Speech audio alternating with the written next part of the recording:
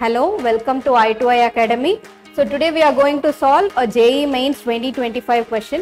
நமக்கு ஒரு reaction கொடுத்திருக்காங்க bromobenzene is undergoing sulfonation reaction.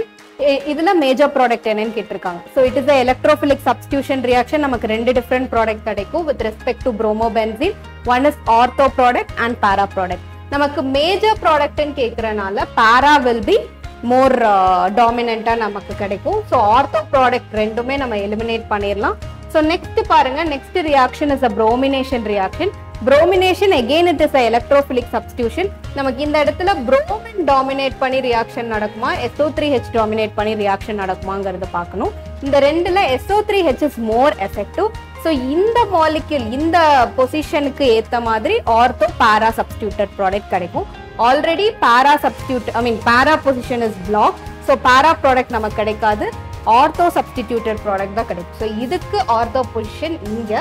So this option is not there so this is the answer இங்கே தான் நமக்கு bromine substitution so answer is this one okay thank you